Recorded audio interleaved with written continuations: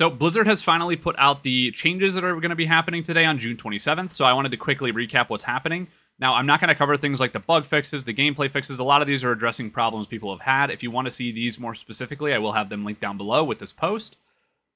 Additionally, they've also changed things with the local co op, some of the quest bugs. They made a lot of nice changes to the UI as well, which I'm excited to see in game. Then again, there's more miscellaneous changes, but where things get interesting are in the gameplay adjustments, and then all of the classes actually have received pretty significant changes, most being buffs, and I'll kind of cover those pretty briefly and try to keep this video as short as possible for you to give a little update. But the biggest thing here, like I said, is the experience changes they've made. So you'll notice here that they've significantly increased the experience awarded for Nightmare Dungeons. They've also significantly increased the experience gained from killing monsters in a Nightmare Dungeon. So both sources of XP from Nightmare Dungeons, this being more important, obviously, the killing monsters in the Nightmare Dungeon. But Nightmare Dungeons are now much more worthwhile to do for XP. So if you're doing a lot of group content, it's going to be more worthwhile to do Nightmare Dungeons now, which it makes sense that that's the case because again, when you're doing nightmare dungeons, you're getting glyph XP, you're getting better loot from than you would in normal dungeons, and then also now you're going to be getting better XP, which is very important.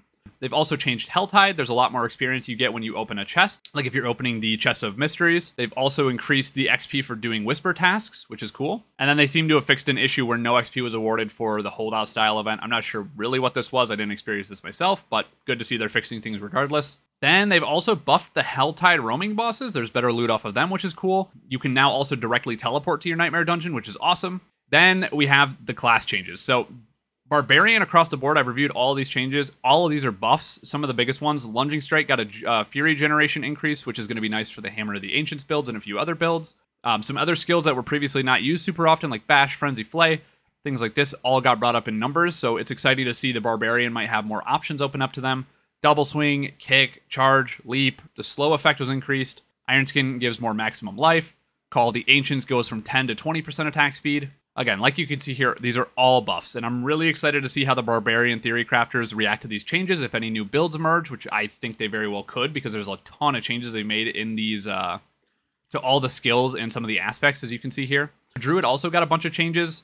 Not really to any of the skills that are used in most of the meta builds right now, but you'll see here Earthspike got a little increase, so it might make the Landslide build a little bit better. Wind Shear got a small buff. Claw also got a small buff. Maul base damage was increased as well. Lightning Storm duration was increased, and the Immobilize was increased from 8 to 12%.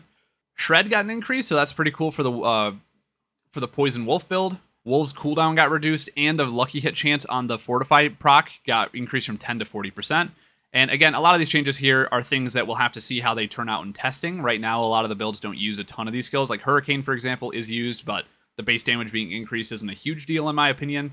Some of the passives were changed around as well. And the legendary aspects have also seen some changes. So Rune Workers got a little bit of a flat damage increase. Mangled Chance went up by 10%. Seismic Shift cooldown went down by 0.5 seconds. Then Blurred Beast damage is increased by 10%.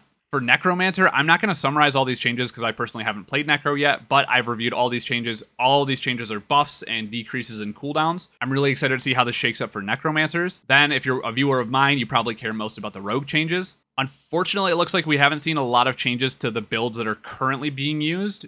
The only things I've seen here, for example, Forceful Arrow got a 2% damage buff, Barrage got a 2% damage buff. This is actually going to mean a pretty big deal for Barrage, as I already think it was one of the stronger core skill options. So I'm kind of interested to see they decided to buff Barrage.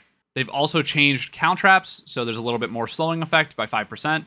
Smoke Grenade cooldown reduced by 2 seconds. Rain of Arrows, which I know a lot of you are big fans of, in my community at least, got a small little buff. Cool to see and then volley base damage is increased. Interestingly, as well, the uh, close quarters combat passive has seen a little buff, so I'm interested to see if this is now going to feel a little bit better. I'm probably going to go test this myself. Then also Umbrous Aspect saw a little buff, so I think uh, there were a lot of builds previously that recommended using this on your amulet. I think with this 40 to 60% range now, it's going to make the most sense to have it on your helmet. And then the uh, Death Trap unique also got a uh, cooldown reduction buff on the top end percent. The bottom end percent of 15% is the same. Then finally for the Sorc, all around the board from what I've reviewed here, all these are small minor buffs to a lot of the skills that haven't seen a lot of love so far, except for Blizzard. I am shocked to see this. Got a 10% base damage increase, which kind of blows my mind considering how good that build is, especially at killing Lilith. I'm really surprised to see this, but Blizzard did say it was going to be a buff round of changes, so here we have it. But anyway, I haven't been playing Sorc myself, so I don't want to sum up the Sorc changes. The only one I was really shocked to see, like I said, was the Blizzard base damage increase. Kind of crazy. But these are the balance changes. Again, I'm going to have them linked below. But I like to keep my videos short and to the point. Thank you so much for watching. My name has been Valued, and I'll see you in the next one.